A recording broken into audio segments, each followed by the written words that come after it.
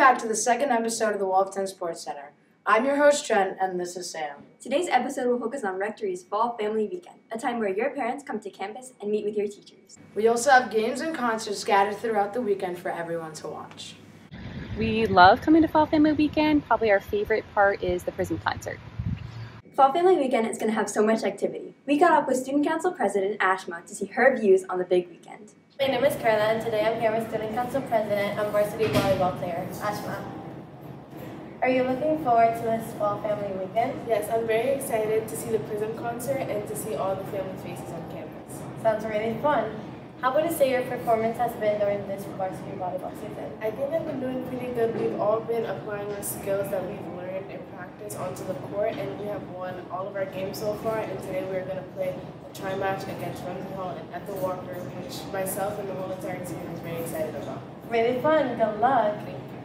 Is Student Council having something planned for this fall family weekend? Uh, we have a lot planned. We meet every Tuesday on enrichment to talk about our new ideas, and I can't really say too much, so just stay tuned.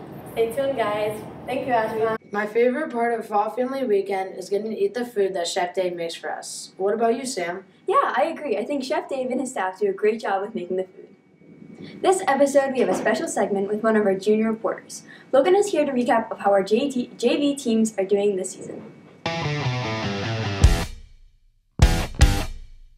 In the second game of the JV boys soccer season, they picked up their first one of the year in an action-packed thriller, 3-2 against Fay. Fay leads off with a goal early, but Rectory played really strong defensively for the rest of the game, only giving up two goals all game. At halftime, it's 1-1 and quickly becomes 2-1 with AJO's second goal.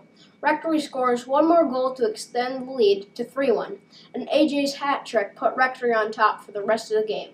The final score was 3-2 Rectory. The girls' JV volleyball team traveled to Fay for their season opener. They had an amazing game even though they did not win. They played really well and extended the set many times. This young team is showing some promise, and I look forward to seeing them play throughout the season. Go Rectory!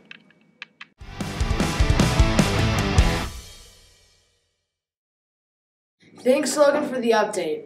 We are so happy to hear about our JV teams. This year, we have a new fall sport, flag football. Mr. Ames and Mr. Anderson lead the roster with 26 players. We talked to Mr. Ames about how he feels about this flag football season. What's up, guys? I'm here with flag football coach Mr. Ames. Mr. Ames, what are your thoughts about bringing flag football back to Rectory? Uh, very excited about bringing flag football back to Rectory. I think uh, you know when we when we lost 11 uh, man football, I think um, there was a lot that we missed about it, but I think uh, bringing it back has uh, brought a new energy. So uh, really excited about the season. Nice. What are your hopes and expectations for this season? Um, you know, I want uh, I, I, want to generate a lot of interest in flag football. I want us to be obviously successful, and I want kids, uh, the athletes who participate, to get um, have a great experience and and some success as well. Nice. How did the first game go? Oh, the first game was unbelievable. So we went up to Beaver Country Day, and uh, it was a competitive game, and it, it, got close at one point, two points, in fact. But uh, we ended up uh, winning by a couple touchdowns, and we had several, um, several, several contributors and several amazing plays, including the, yours, tipping the ball back to your uh, uh, your buddy Gray there. So yes. it was great. Nice. Um, how dominant do you think our team will be compared to other schools? Uh, you know, Beaver Country Day was a test, although it, it ended up being a pretty solid win. But I think we're going to get a real test when we play uh, Woodstock Academy coming. So I think we'll be able to see where we fit in as far as, uh, um, you know, being competitive. I'm looking forward to it. What's your favorite part about coaching this team? Uh, my favorite part is is taking um, athletes where they are um, and making them into flag football players. So um, athletes who maybe couldn't catch the ball so well are, are now making catches and, and yeah. getting touchdowns and things like that. All right. So. All right. Thank you. Yeah, you're welcome. I play for flag football, and it has been fun so far. Now on to our Wolfie report with Zoe.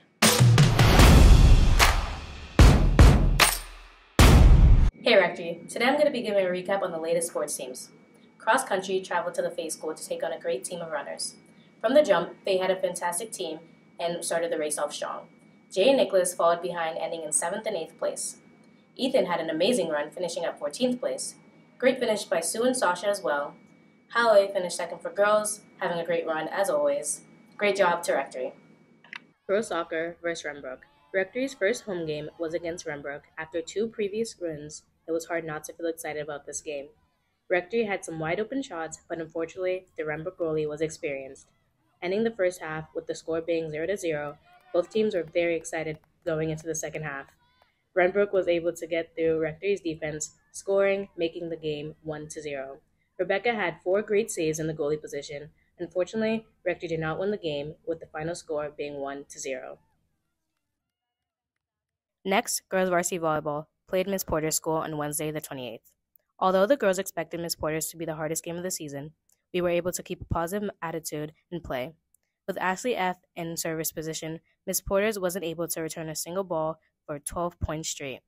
Every player stayed focused and the girls were able to win 3 0. Typically, Rectory has bad luck on the second set, but Rectory girls were able to pull through. Moving on to boys varsity soccer. With a strong first half, Rectory did a great job on communicating and passing the ball around the midfield. Stephen did a good job on defense and had executing plays. Bumden and Tristan did an excellent job on finding opening spaces. Suffield had a lucky break and was able to get a goal right before the first half. With a nice assist from Patricio, Marcella was able to get a goal. Sadly, it didn't count. With a one handed save from Zane, Rectory tried their best to play to the fullest. Ultimately, the game ended at 2 0. Last but not least, flag footballs. First game of the season started off against Beaver Country Day. Rectory started off with solid defense. Unfortunately, Beaver was able to get an interception. Rectory would then go on to score 16 points, ending halftime at 16 0. In the second half, Beaver was able to score, but Rectory was able to score even more, ending the game at 32 14. I'm Zoe, and that's your Wolfie Report.